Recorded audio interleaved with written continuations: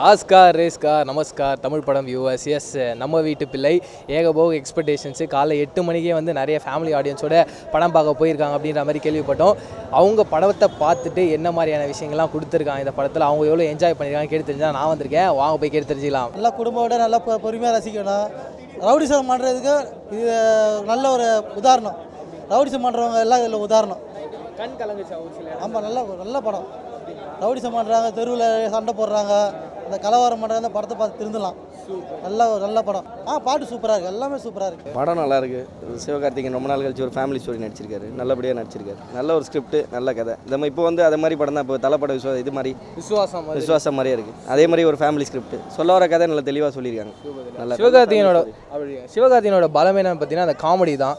இதில் எப்படி work out ஆயிருக்கு? இல்லை பழைய அந்த மான்கரத்தை எல்லாம் வந்து அவருக்கு அழ தெரியாது. நடிச்சு நல்லா நடிச்சிருக்க மாட்டேன் இப்போ வந்து சூப்பராக நடிச்சிருக்காரு. படத்தை பார்க்கவே சூப்பராக இருக்கு. சூப்பர். அந்த சென்டிமெண்ட் எப்படி தெரியல ஒர்க் ஆயிருக்கு? ஐஸ்வர்யா ராஜேஷ் அண்ட் எஸ்கே நல்லா தான் இருக்குது பட் நல்லா முடிச்சிருக்காங்க. நான் சிவகார்த்திகனோட சென்டிமெண்ட் அந்த சீன்லாம் ஃபஸ்ட்லாம் அவருக்கு செட் ஆகாது. என்னடா இப்படி நடிச்சிருக்காருன்னு யோசிச்சு. இப்போ சூப்பராக நடிச்சிருக்கேன் நல்லா பண்ணியிருக்கான் சூப்பராக பண்ணியிருக்கேன் அதே மாதிரி பாண்டியராஜ் சார் படங்கள் அந்த நடுவில் ஒரு ஃப்ளாஷ்பேக் போர்ஷன்லாம் எடுத்துட்டு வராரு அந்த போர்ஷன்லாம் இங்கே கரெக்டாக கிளியராக இந்த மற்ற ஒரு சில படத்தில் வந்து அதை கிளியர் பண்ணாமல் அப்படி அப்படியே இது பண்ணி இந்த இடத்துல சூப்பராக முடிச்சிருக்காரு.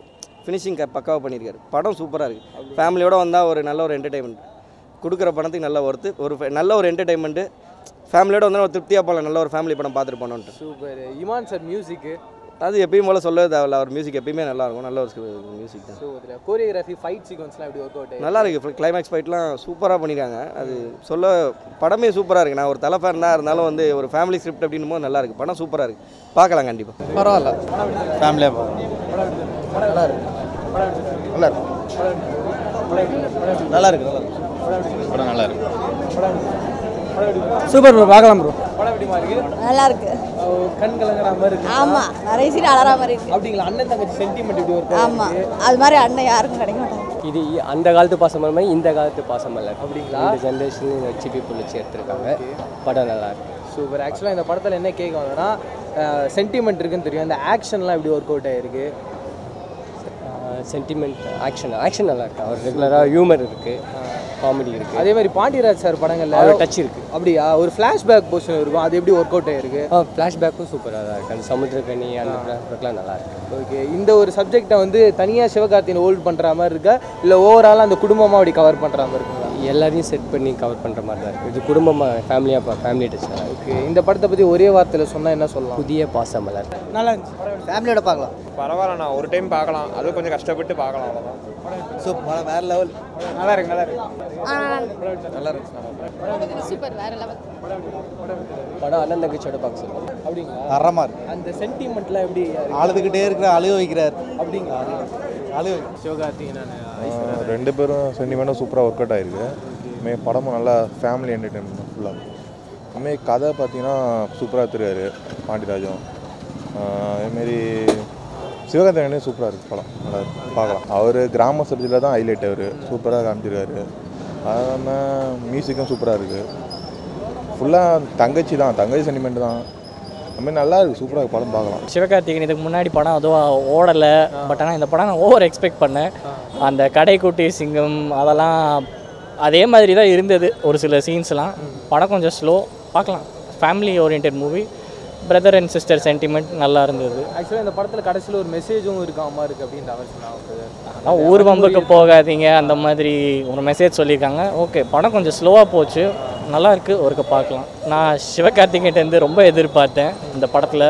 அந்த வருத்தப்படாத வாலிபர் சங்கம் அந்த ரேஞ்சில் படம் கொடுத்துருவாரு அப்படின்னு நினச்சேன். பட் ஸ்லோவாக போச்சு அந்த ரேஞ்சுக்கு வரல. சிவகார்த்திகேயன் சூப்பராக நடிச்சிருக்காரு. சென்டிமெண்ட் நல்லா ஒர்க் ஆகுது படத்தில். நல்லா காமிச்சிருக்காங்க படம். எல்லாரும் ஃபேமிலியாக பார்க்கலாம் ரெண்டு வாட்டி கூட பார்க்கலாம் படம்.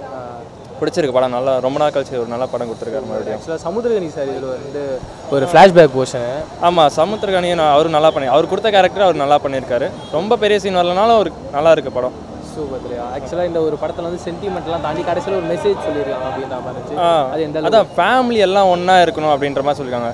ஃபேமிலிக்குள்ளேயே நிறைய பாகுபாடு பார்க்காம எல்லாரும் ஒன்றா இருக்கணும் அப்படின்றது காமிச்சிருக்காங்க அதே மாதிரி தேவையில்லாத சண்டைகளுக்கெல்லாம் போவானா அப்படின்ற மாதிரி ஏதோ ஒரு விஷயம் பண்ணியிருக்காங்க. ஆமாம் தேவையில்லாத சண்டைக்கு ஈடுபட நமக்கு தான் பிரச்சனை வருது. அந்த மாதிரி எல்லா விஷயத்தையும் காமிச்சிருக்காங்க.